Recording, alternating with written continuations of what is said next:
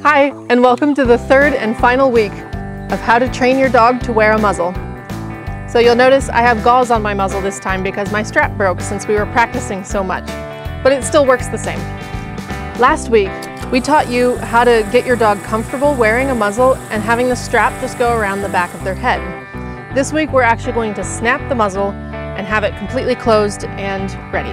So we're going to do a little warm up, same as before, getting Chili to put his nose in the muzzle.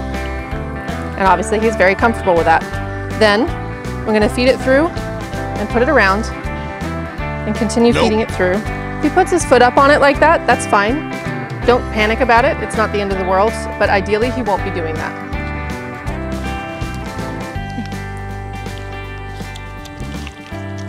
Good boy. So if your dog does continually put their foot up on it and want to pull it off, Make sure you have a lot of food ready in your other hand to feed through the muzzle. That's how you're gonna stop them from thinking about pulling it off and just thinking about eating the food through the muzzle. So now that Chili's comfortable with this and he seems pretty comfortable with it around the back of his head, I have adjusted this muzzle to the size of his head. You can start loose if you want and then adjust it later as he gets more comfortable.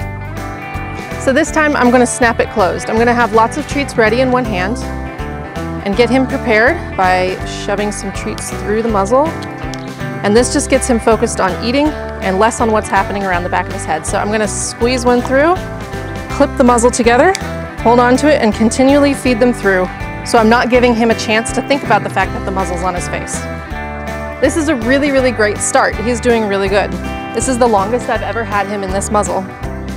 And he's not even thinking about the muzzle, he's just thinking about the treats.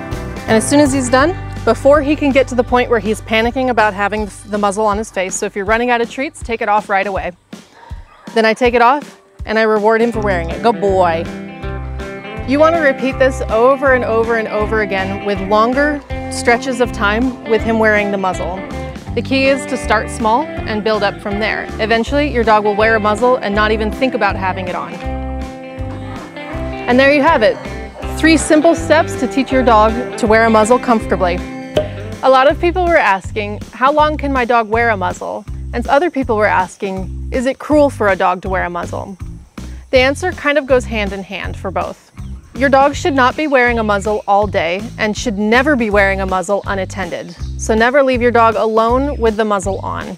However, if you're going to the vet's office, or say you're going for a couple hours on an outing and your dog is reactive with new people or new dogs and you're afraid that he might bite, you can leave the muzzle on while you're out and about for a few hours. It only becomes cruel when you're leaving your dog in the muzzle for too long or when you're leaving them without anybody watching them. The most important thing is to make sure you are getting the correct type of muzzle.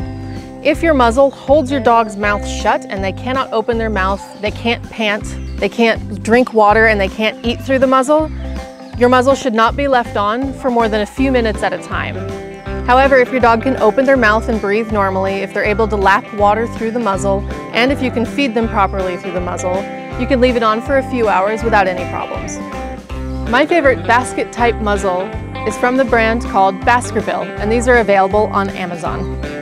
If you have any questions about this process, or if you've struggled with some part or another with your dog, make sure to put it in the comments below and I'll answer it as soon as I can. Chili, sit. Yes, sit up. Yes, good boy. All right, can you go down? Good boy. Ready? Chili, roll. Good boy. All right. Shake. Good boy.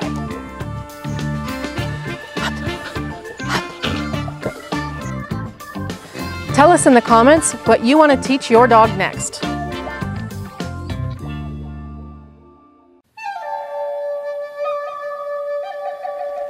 Ah.